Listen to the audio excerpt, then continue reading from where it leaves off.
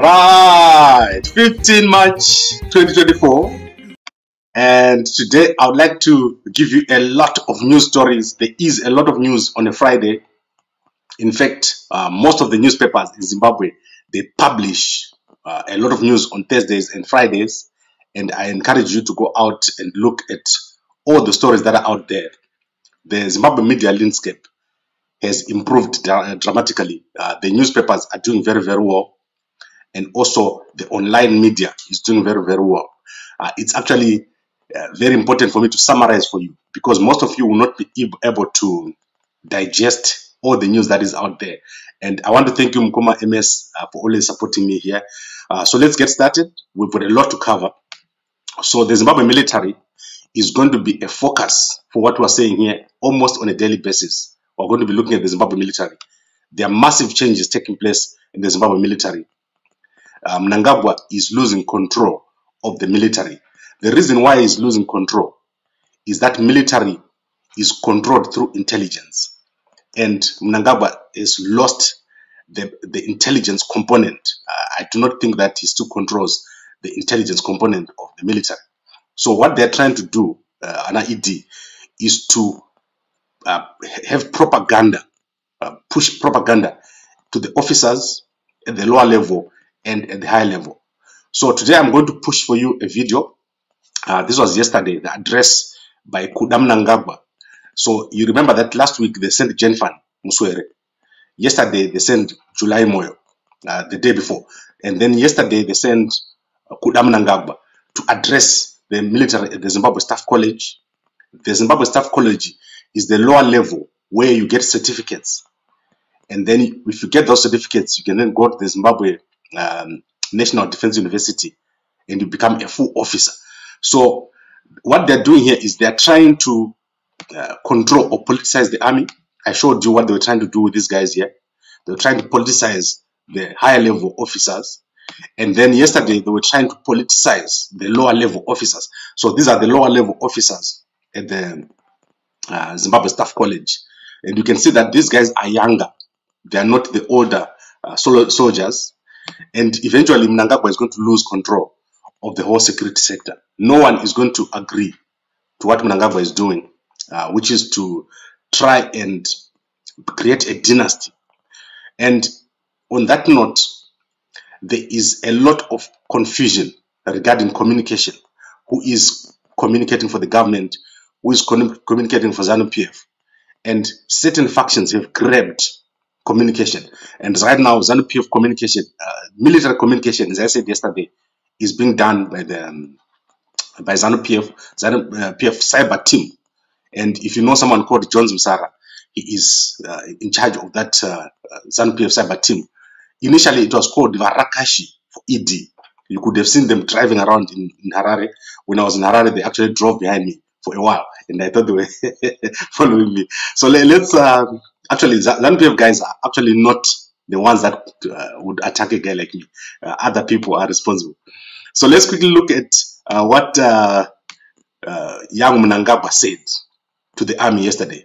You know that they're not allowed to actually show us the address. So he spoke outside. And let me show you what he said here. David Kudakwashe Mnangagwa addressed students at the Zimbabwe Staff College in Harare this Thursday on macroeconomic stabilization policies in line with the Vision 2030. What we did was uh, go through a journey uh, starting from the TSP, uh, that was uh, 2018 to 2020, NDS 1, 21, uh, 2021 to 2025, and then NDS 2, which will be coming 2026 to 2030.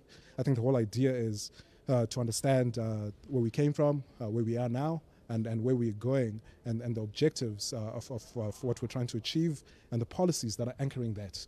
Uh, you, you'd want to make sure that uh, as you move along, uh, your policies continue to be aligned to national ideology uh, and, and the vision uh, that is there. And problems that we're facing uh, are not a government problem, they're not a private sector problem, uh, they're not a citizenry problem. I think there's a Zimbabwean problem. And the best way to approach them is together, uh, which means continuous uh, uh, engagements, uh, consultations, and, and making sure that even in critique, uh, we do that in a, in a positive way. Right. So you can clearly see what uh, David Mnangagwa is trying to do. He's trying to tell the officers that the economy is not being ruined by ZANU PF and that uh, they must be patriotic, you know, all those things that you, polit- you do when you're politicizing soldiers. Remember, these guys are not war veterans. So the guys you're seeing here, the officers, are not war veterans. You are looking at a crop of soldiers that will not be able to run after opposition and all that. We've got a new crop of um, of officers that is coming. And as I said, Mnangagwa is going to lose control of the military within the next five years. Uh, you won't be able to use the military in Zimbabwe for what they have been doing in the past. So politicians will be standing this side and they will have to do their thing. And the military will be on their own side. And there is a course here called the Zimbabwe Joint Command and Staff Course. It's a very important course. You need five O levels to have that course. And if you see the um, the report that we published yesterday by Dr. Mkanairi, uh, you can go to gambakwe.com, how promotion works in the army. You, you, you need this course, you need four level, five O levels to be able. Sorry, my electricity is back. It's looking a bit uh, bright. I was in the dark, as you can see. So, this course, this is the guys that he was addressing. Those are the people that are in the Zimbabwe uh, Staff College. They will eventually become officers. And the Zimbabwe military has been abused, especially the non-war veterans. And it's beginning. So what happening is now there are more of those now. War veterans are less, but they're at the top. And more officers are coming at the bottom who are professional, who are educated, who want to create a national army which is very, very professional. And this is where Mnangagwa is losing it. Uh, the third term bid that he was trying to put in place is falling flat because the military is not going to support what Mnangagwa is trying to do. So you, you must look at it in the context of what is happening. They are going to try every day to politicize the army. But eventually there will be a group of officers that will just be fed up and something is going to happen very, very soon. So look out for the military action very, very soon.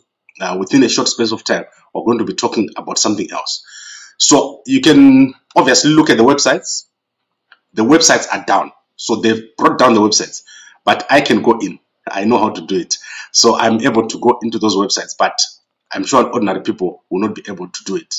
So it is deliberate. They brought down those websites so that the military does not have a, a way of getting in. So if you, you type, for example, uh, Zimbabwe N, zndu.ac.zw, you will not be able to see anything. You have to use other methods to go behind and see what is on those websites. These institutions are extremely important for the future of, of our country, the, the Zimbabwe military education institutions, because the war veterans who were in the army were operating uh, very unprofessionally in a politicized manner. And Mnangagwa could just phone someone and say, and but now it won't happen. Uh, the new guys who are in the military are very very professional. And we are going to see a dramatic change uh, very very soon with these guys. This crop of military that you're seeing here is not the the old crop of military that was there in the past and that is why ZANU-PF is relying more and more on internal communications so this is their their badge here, Zimbabwe National Defense University, very important institution in the future of our country. This institution is going to be, when you look at history, these are the, going to be the people that transformed the country of Zimbabwe. So I've been saying this for a while. I want us to move on now very, very quickly. We, we obviously can ask me questions in the comment section if you want to get some clarification. Let's look at news now. Uh, Chamisa did not tweet today. Uh, we're still waiting. This is what the last thing that Chamisa said about the blue. Have hope. God is in it. Change is coming. That is what Chamisa said, but he hasn't said anything. I'm trying to arrange a meeting with Chamisa, but it has not happened yet. So it will happen sometime very, very soon. Uh, I've made sure that we make those arrangements to meet with Chamisa, and I will let you know what happens when I meet with Chamisa. Then I want to take you to news. There's a lot of news, so I'll try to go very, very fast. We're nine minutes. We'll try to do this in 10 minutes. I want to bring this bulletin down to 10 minutes uh, so that I don't take too long. So let's start with the meeting between the United States Embassy and the Ministry of Foreign Affairs in Zimbabwe. After uh, those uh, USAID uh, employees or staffers, they were deported. There's been a meeting between the US Embassy and uh, Zimbabwe Foreign Affairs officials. And the United States has expressed its uh, deepest, or what can I say, in very strong terms. They've said that the Zimbabwean government was undiplomatic what they did was undiplomatic. So I don't know what will be the effect of that. The Zimbabwe government has refused to comment on that story. You can go and look at that story in the Zimbabwe Independent newspaper. It's got a lot of details on what happened there. Then Mnangagwa is likely going to reshuffle his government. You can see that many ministers are being sidelined. So I expect to see a reshuffle, especially Minister of Information, Gender, and all the other ministers. They are very ineffective. And Minister of Finance, you might you won't be surprised to see uh, young Mnangagwa becoming the full minister and Ncube being pushed to another ministry, maybe industry and commerce or something like that. But young Mnangagwa is probably going to be pushed up, depending on how strong Mnangagwa is. Then the ZBC has asked its employees to move out of houses or flats. So this is the flats, it's Hartley flats, and this issue is now in court. Uh, I'm sure I've got the right pictures here. They say they want to renovate these flats and they've given them 30 days to leave. And these people have been living here since 2009. They've gone to court and so they want to stay there. Some of them are former employees. Then we want to look at the burial of Chemist Siziba. Very strange burial. I've never seen a burial like this. And I want to play for you the video. There's absolutely no women and children, no family. He was a, declared a national hero and they're just soldiers. So I don't know what's going on. So just have a look here.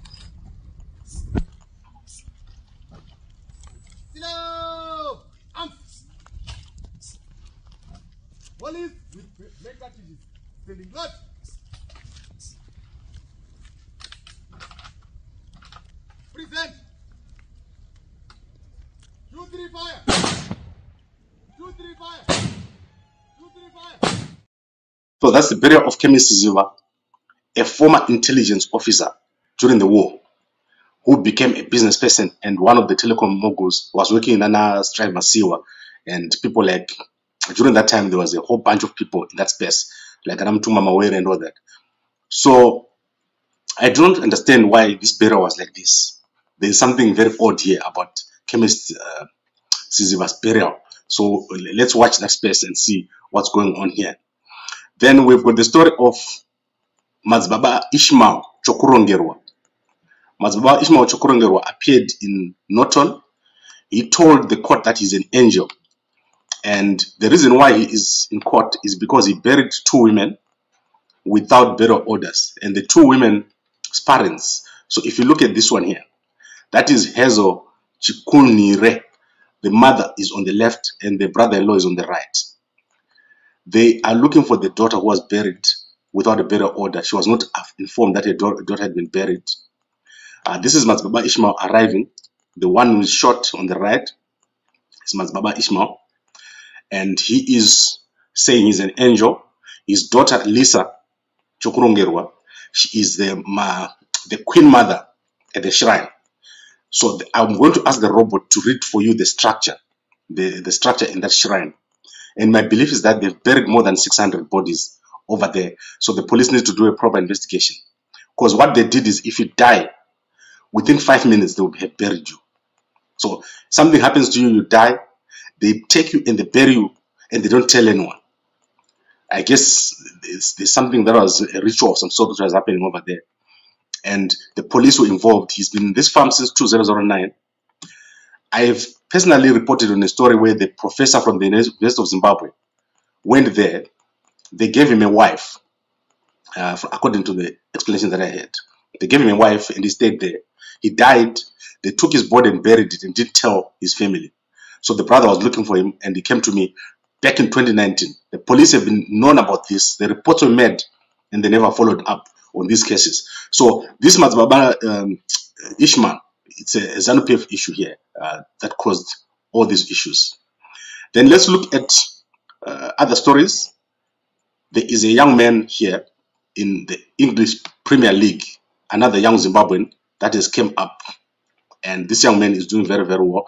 So I, I want to find his picture. Uh, okay, there is his picture. Apologies for the delay in giving you this picture. This young man made his debut for the Wolves. So we've got two young Zimbabweans now on the EPL. And this one is called, so let's remove that banner. It's called Tawanda Chirewa. He's doing very, very well. he's gonna be the second young Zimbabwean playing in the EPL. So the guys in UK, you can watch that and- follow that story. I do not know uh, much about the soccer. Mnangagwa has congratulated the Chevrons who won the gold here in South Africa. They beat South Africa. So you can go and look at Mnangagwa's tweet. And then uh, Mnangagwa was in Victoria Falls opening the Diamond uh, World Diamond Summit. Zimbabwe is no longer the chairman there. It's going to be another country. You can see that they've removed the soldiers from behind Mnangagwa. We now have a presidential guard in uniform behind him. And obviously, we have a second guard on the right. Mnangagwa security is in a lot of trouble. Uh, he, he doesn't know what's happening. He doesn't know who's coming after him. And he is with Chiwenga here. Chiwenga is very respected within military circles. No one would ever attack Chiwenga. That's my understanding that if ever there was to be an attack, it would never happen on, on Chiwenga because he's very uh, respected within military circles. And guys would uh, rather do something else, but they would never attack Chiwenga. So I guess Mnangagwa is using uh, Chiwenga for cover whenever he goes to these places like Victoria Falls because he's got so many enemies. Uh, then there was a visit by the ambassador of, so this is uh, the ambassador of Sweden. He, minis- he visited the Minister of Information and he, he visited Shava, Minister Shava. Uh, you can see when Shava doesn't have his scarf, you can't see him. and then as I was saying, there's a clash in ZANU PF regarding who, who has to communicate. You can go and look at this uh, letter where they are saying people should not just talk within ZANU PF without authorization. So let's look at other stories. In Bulawayo, there is going to be a national day of prayer on the 19th, an interdenominational day of prayer, and also Senate um, Mayor David Coltart. He presented the new junior chamber here. So very looking very good, uh, looking very nice. Panagarebo. the boy on the left is very tall. These are the the guys who are going to be mayors and uh, all that in um, the junior chamber of Blawa. Blawa is becoming the most organized city. They are currently in the process of fixing the roads. So the, the work that uh, David Coltart is doing in Bulawayo is very important. And I did see that they're actually working in front of my house. So this is amazing. Uh, I, I wanted to show you, but if I open Twitter, the things that come out on Twitter, when I when I scroll down, I don't know what's happening with my Twitter. So so many bad things happening. But you can go and look uh, on Twitter. There's a lot happening in Bulawayo uh, in terms of development. So I hope that that works out. Uh, we've got a serious problem in our country in terms of development. And Bulawayo is actually a very nice place. It's strategically placed next to Botswana, next to South Africa, and you can easily go to Victoria Falls from Bulawayo. So it should be doing very well, but currently it's not doing very well. And then let's look at um, Robin Vela.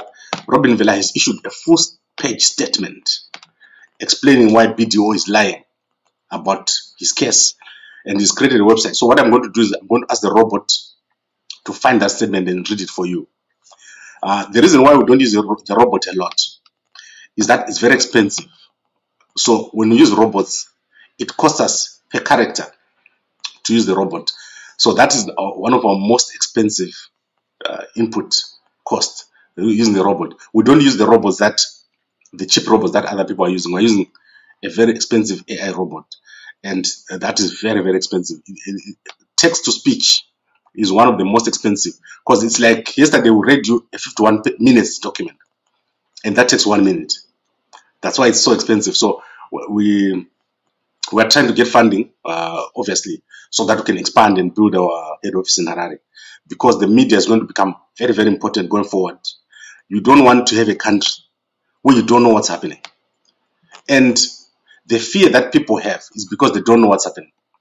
Ana Mnangagwa, abatyhisi, ana um, uh, all those guys in the military, they're not scary.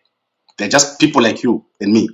So if you you see why people are afraid, is because things happen in the private. So you don't know what's happening. You're afraid that something is going to happen. Nothing is going to happen to you. I go to Zimbabwe and I walk there. Nothing happens to me. Nothing is going to happen to you. If Mnangagwa uh, tries to kill me, afambi uh, no one is going to like imagine that so those days of fear of people being afraid and thinking, oh my God, these guys are powerful, are over. And you now have these military guys who are, who are trying to make changes to things here. The days of Anamnangagwa are numbered. You are entering a post-Mnangagwa era, and our country will develop and work out.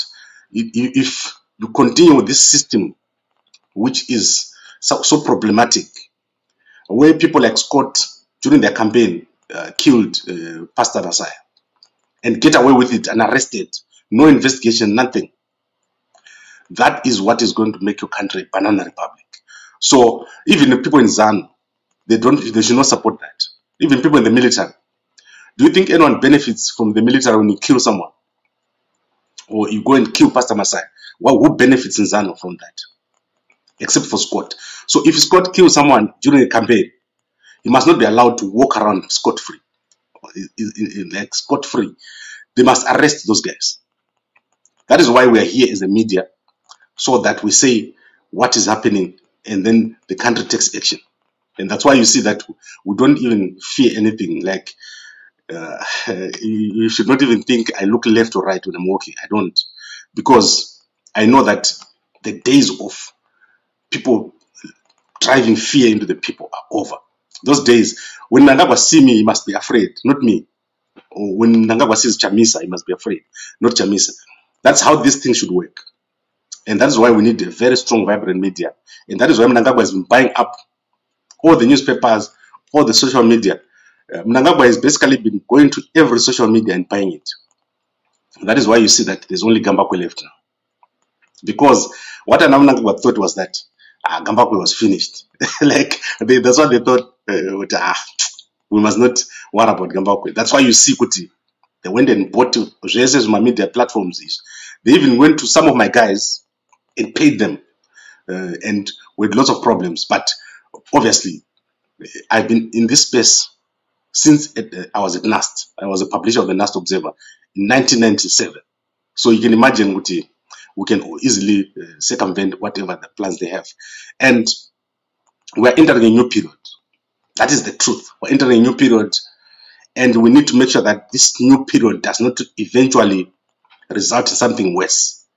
So we need to be very vigilant and make sure that the media works. And uh, everyone who is in the media space is going to be very, very important. That's why I always refer you to other media platforms. go over there and make sure that you understand what is going on. So I want to wrap this up. We're on 22 minutes. It's a Friday.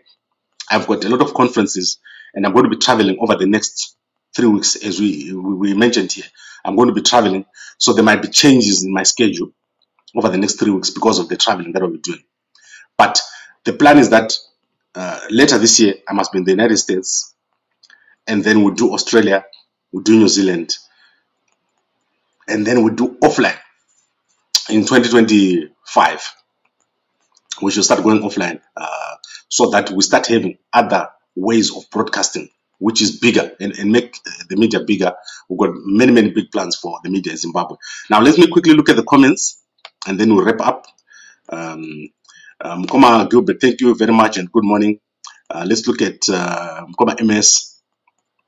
Mkoma MS is saying, no way they bury over 600 bodies while the authorities is pouncing on them. Yeah, Aba Mkoma again, We told uh, the police that time when the professor was buried, Kuti, this guy has been buried here. They went there. And I don't know, they, I don't think they did an exhumation. So what this guy has been doing is when children are dying like two a day, he would take the body of a child, Agafa, like now. They'll bury him like within five minutes. And when they bury, they don't bury in a new grave. They put the person on top. So yesterday there was an exhumation. So let's wait and see how many people did they find in those graves. Also, remember there's also the issue of burning of bodies and all those kind of things. You don't know what they could have done because the women were being kept in captivity. They could not get off the farm and uh, there was intermarriages and all those kind of things happening. There are currently bouncers right now at the, at the farm. They've not been chased. And the situation is continuing. It's not finished. It's still there. So it, it's still the same. If you go now today, the farm, all the young kids who are married are still married. All the people that were in captivity are still in captivity. Uh, you can go and have a look at that in the HMA2.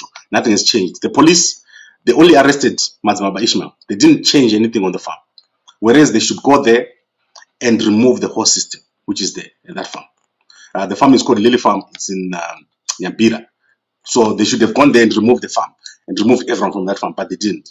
And Lisa is there. She, she's the, the one in charge. So Lisa, this young girl here, she's the one who's in charge here at the farm with her husband. She's also married there uh, by someone. So she's still there and she's the one who's controlling all the women, 120 women and children. So we're talking about over 1,000 people at this place. And one guy could be married to four or five women. Uh, the team, which is called the, uh, I don't know what they call it, the Council of Elders, is the West team that you can find. They, they do all sorts of things over there. So that is the problem that we have by Panama's Baba Ishmael Chokurongerwa. He's a, a ZANU PF member. And when they do those campaigns, they're going over there. They don't want to mess with Mapostori. Remember, Mapostori, they're the ones who are Mapurisa. They, they beat up the police some time back. This is a violent group of people. They're not normal. And yet they've got political support and backing. Right, let me look at the last comment. Mkoma, Mkoma uh, Prince is saying David Coltart is doing a good job. Yes, Coltart is doing a good job. Blawa is going to do very, very well. Very soon we're going to have water and we're going to have lights. There was one time when Blawa was doing so well. I walked in Blawa and there was lights everywhere. At the moment, there's so many petty thieves in Blawa. If you park your car, they smash your car immediately. Uh, and so they need to deal with that. Uh, there's also people selling on the side of the street. They must remove all those uh, people on the side of the streets make Blawa as clean as it was before. Our business is booming in Blawa. If you drive in Blawa, all shops are working, they're functional. Although now we're having shortages. So starting this week, uh, there's been a shortage of food uh, in Zimbabwe starting. Uh, shelves are starting to empty up because I, I, don't know whether it's a supply chain issue or it's a pricing issue, but there is a very big problem happening over there. And then um, Mukoma I've seen lots of propaganda posts by individual supporters always talking of propaganda, of progress, yes. Uh, and then I must say they could find no more than 10 buried bodies. Yes, I think let, us agree that you cannot just bury someone without telling the parent. Come, eh, eh, you can we can give other uh, things to say why did you do it, but you can't take someone's child and then bury them after five minutes of death and then tell no one, and then marry off 80 year olds. Uh, Ishmael himself is married to four girls who are under 18. The, the whole list, we'll give you the whole list uh, later on when I ask the robot to read this. This is a, a serious cult, a serious cult. In Zimbabwe, there are so many cults now, especially Mapostori. Those guys are a problem. Uh, they need to be dealt with. They're even a problem here in South Africa, Mapostori. The things that they do is, is seriously a problem, uh, and um, they need to be dealt with. So thank you very much for watching. Uh, let's recap uh, David Mnangagwa has addressed the military. He says that, uh, and this is the Zimbabwe Staff College, he says the problems in Zimbabwe are not caused by the government. And this group of officers is not war veterans. They're trying to politicize the middle level before they become officers. This follows previous meetings by which were addressed by July Moyo, the Zimbabwe National Defense University, and also Jenfan Muswere on NGOs and social media. So this one is on the economy. They're trying to say that it's not uh, the government's problem. I believe that Mnangagwa is going to reshuffle very soon. I believe that because of poor intelligence, uh, security around Mnangagwa is threatened. Mnangagwa has got very poor intelligence, doesn't know what's going on. And eventually some military officers are just going to be fed up and take action, especially the new non-war veterans ministers. And then let's go out with that video by Kuda Mnangagwa. I just want to play it for the guys who are not here. We played it, and then we'll wrap up uh, this broadcast. I'll be back tomorrow. And obviously, we said the burial of Chemist Siziba. Very strange. Uh, it was only soldiers there. I don't know if his family was sitting somewhere else, but I only saw soldiers. And it's as if uh, there was no one else. So let's look at what Kuda Mnangagwa said and we'll wrap this up. David Kudakwashe Mnangagwa addressed students at the Zimbabwe Staff College in Harare this Thursday on macroeconomic stabilization policies in line with the Vision 2030. What we did was uh, go through a journey uh, starting from the TSP, uh, that was uh, 2018 to 2020, NDS 1, 21, uh, 2021 to 2025, and then NDS 2, which will be coming 2026 to 2030. I think the whole idea is uh, to understand uh, where we came from, uh, where we are now, and, and where we're going, and, and the objectives uh, of, of, of what we're trying to achieve, and the policies that are anchoring that. Uh, you, you'd want to make sure that uh, as you move along, uh, your policies continue to be aligned to national ideology uh, and, and the vision uh, that is there. And problems that we're facing are not a government problem, they're not a private sector problem, uh, they're not a citizenry problem. I think there's a Zimbabwean problem. And the best way to approach them is together, uh, which means continuous uh, uh, engagements, uh, consultations, and, and making sure that even in critique, we do that in a, in a positive way. Right, so I don't know why my volume is so low to me on my side here. I'm going to talk to our provider to see why we have low volume on, on these videos. Because sometimes when I watch this thing and I find very low volume. So we'll see what, what's causing all this. But in short, Kuda Mnangagwa has addressed the, the, the, the military officers, the commander level, and he says that the problem is not the government, which is wrong. Uh, there's no currency in Zimbabwe.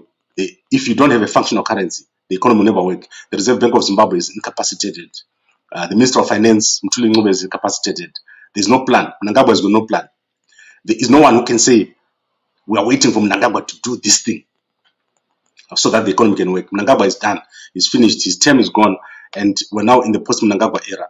Nothing is going to happen under Mnangagwa except uh, speeches and skits. That's all you're going to hear. You're not going to see any change under the current approach that Mnangagwa is taking. That is the problem that we have. and this is it. Thank you very much, everyone, for watching. And I really appreciate all the views that we're getting.